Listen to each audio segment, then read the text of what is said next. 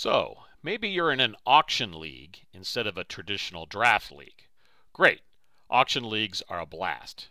RotoWire can suggest an auction budget for every player based on the specific settings of your league.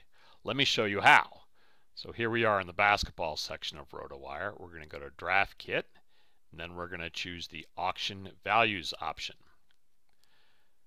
Now, you can go a few different routes here. If you've entered your league already through the My Leagues option, I've got two leagues entered already, you can just select that league and it'll default to the settings of the league you already entered. But for this video, let's pretend we're starting anew and we'll enter custom scoring. So I'm going to choose custom scoring.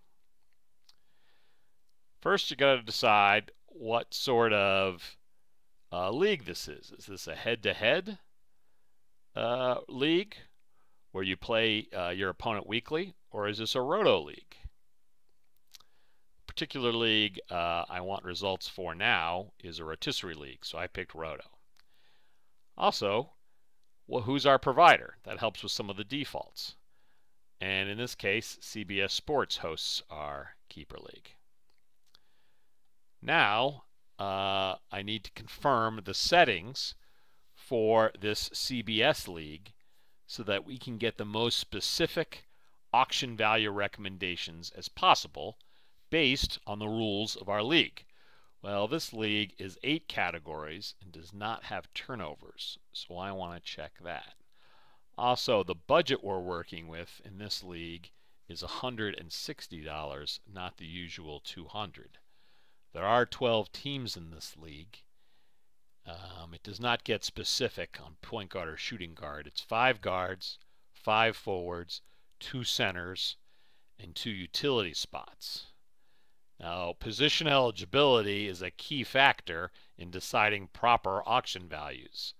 If you have a one center league or a two center league, uh, that can drastically alter the auction values RotoWire suggests for players that are eligible at center.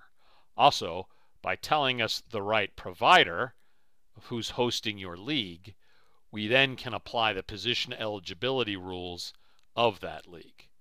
So this is CBS, two centers, two utility, five forwards, five guards. Great. Oh, and yes, this league has six bench players. So now I want to generate auction values. And as I scroll down, here they are. We've got James Harden as the most valuable player, where we suggest spending $45 or up to $45 in the auction for Harden. And you can see so forth, it keeps working that way for various players. You can sort these results by position or by category.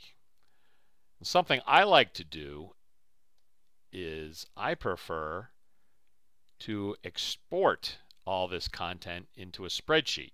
You can also do it into a PDF or a CSV file.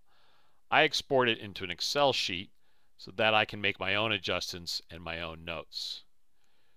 You'll also see that we do have some players in negative value. Now we know you can't bid negative dollars, but uh, in relation to Harden, James Harden being $45 in value, other players will have negative values. So frankly, that means anyone who's negative that you're interested in grabbing, you probably should only draft after all your money is spent. Okay. And that's how our auction values uh, for upcoming fantasy NBA auctions works. I hope this was helpful.